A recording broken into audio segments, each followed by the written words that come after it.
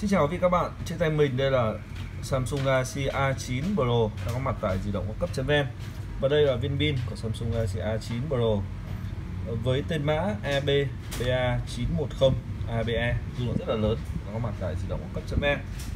khi mà có lỗi sự cố liên quan đến phần pin của Samsung Galaxy A9 Pro à, sạc không vào điện sạc chập chờn những cũng không pin nhanh hết nó dấu hiệu cơ bản nhất, báo hiệu pin của Samsung Galaxy A9 Pro đã lỗi hỏng, cần phải thay mới. Hiện nay di động cấp ven, luôn có sẵn pin của tất cả dòng điện thoại Samsung nói chung. Và pin của Samsung Galaxy A9 Pro nói riêng, thay mới thì các bạn. Quý các bạn chỉ cần liên hệ 024 66 750 99 kỹ thuật viên để di động cấp ven, tư vấn và hướng dẫn cụ thể chi tiết hơn quý vị các bạn. Đối với khách hàng ở xa, không điều kiện đến với di động cấp ven, quý hàng có thể sử dụng dịch vụ ship code COD Tức là quý hàng đặt hàng tại website di động cấp.vn chúng tôi sẽ ship pin A9 Pro đến tận địa chỉ khách hàng yêu cầu, nhanh chóng, an toàn, tiện lợi.